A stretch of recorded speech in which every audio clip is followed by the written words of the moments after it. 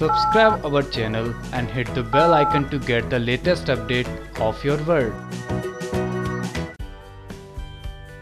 Star Plus की most popular show Yeh Jaadu Hai जिनका की लेटेस्ट अपडेट जहाँ हम आपको बताने वाले हैं कि कहानी में डबल ट्विस्ट आने वाला है और डबल ट्विस्ट यानी कि जिन चिराग से निकलने वाला है, चिराग से निकलने के बाद जिनको मिले मिलेगी वो ताकतें और वो फ्रीडम जो कि वो नहीं ले पा रहा था अब बहुत ज़्यादा होने वाला है मामला गर्म क्योंकि अमन और रोशनी दोनों एक दूसरे से खफा हो रखे हैं और इसी सिचुएशन का फ़ायदा जिन बखूबी से उठाएगा। दरअसल अभी हाल फ़िलहाल के ट्रैक में दिखाया गया कि अमन और रोशनी की गलत फहमियाँ परवीन क्रिएट कर रही है क्योंकि परवीन और अमन की बातचीत होती है, जिस बातचीत को रोशनी सुन लेती है।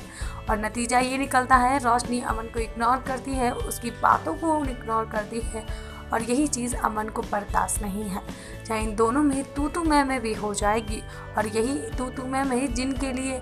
करने वाली है वो वाला काम जहाँ पर अमन को वो अपने काले जादू में, काले साए में संभाले। आगे के अपडेट जानने के लिए सब्सक्राइब कर लीजिए हमारा channel twenty four X seven online news room की report Subscribe our channel and hit the bell icon to get the latest update of your world.